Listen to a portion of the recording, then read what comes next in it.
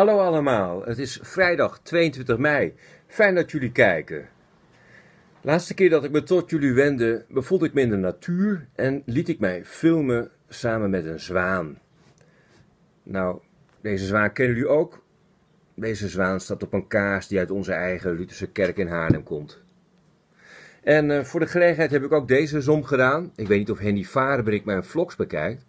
Maar uh, Go Ahead Eagles, hè. Met daarop de adelaar van Go. Dat is ook de adelaar van Deventer. Ik ben een fan van de zwaan en ik houd ook van de adelaar van Go. Maar wat me vandaag bezighoudt is een andere adelaar. Dat is de adelaar van het evangelie naar Johannes. Jullie weten misschien dat ieder evangelie als attribuut een dier heeft. De ezel, die is voor Matthäus. De leeuw voor Marcus. De stier, die is voor Lucas. En de adelaar, de adelaar, die is voor Johannes. Want Augustinus zei het al, de adelaar die vliegt van alle vogels het hoogst. En dat geldt ook wel een beetje voor het evangelie naar Johannes. Het is niet altijd simpel, het vliegt niet altijd dicht bij de grond. Maar het is wel een evangelie dat ons soms bij de hand neemt en naar hoge hoogten voert. hey, ik heb ook dit op mijn kamer. Ik doe die warme sjaal even af. Zo, sorry Henny. Kijk, dit is een icoontje. En uh, daarop is de Heer te zien met een uh, strenge blik. Het is uh, volgens de Griekse traditie hè, een, een, Heer waar niet mee te spotten valt. De Messias. Streng, doch rechtvaardig. Maar kijk eens wat hij in zijn hand heeft. Dat is een opengeslagen Bijbel. En daar heb ik echt wel even op moeten studeren. Ik heb dat eigenlijk voor het eerst gedaan. Ik heb die icoon al een tijdje, maar nou wou ik ook eens echt weten wat er op die Bijbel staat. En dat was nog wel even een puzzeltje.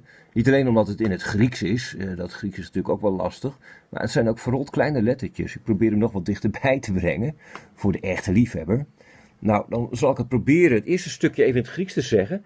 Er staat ego eimi, dat is ego, hè, ego, ik.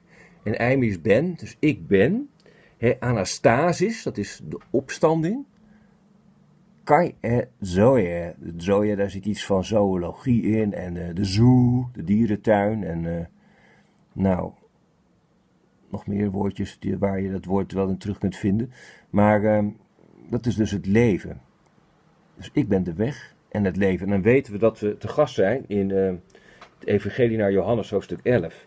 Ik zal de rest maar even in het Nederlands doen. Hij zegt daar. Ik ben de opstanding en het leven. Wie in mij gelooft, zal leven, ook wanneer hij sterft. En ieder die leeft en in mij gelooft, die zal nooit sterven. Dat zijn uh, woorden die Jezus spreekt tegen Martha. De broer van Martha en Maria is gestorven. Lazarus, beroemd verhaal. En Martha zoekt woorden van troost. Maar Jezus geeft woorden ten leven. En als wij hopen te horen, het komt goed, krijgen bij woorden ten leven te horen, het komt goed. Maar anders dan je denkt. Het komt goed, maar wat komt er goed en hoe? Als Jezus vraagt, Martha, geloof je dit? Dan zegt ze, ja, Heer, dat geloof ik. Ik geloof dat u de Heer bent. En dan gaat ze weg in het verhaal. En gaat ze op weg naar Maria, haar zus. En zegt tegen haar, de Heer heeft om je gevraagd. En dat is een heel belangrijk moment. Dat is een centraal moment. De Heer vraagt naar degene die de woorden niet gehoord heeft en toch gelooft.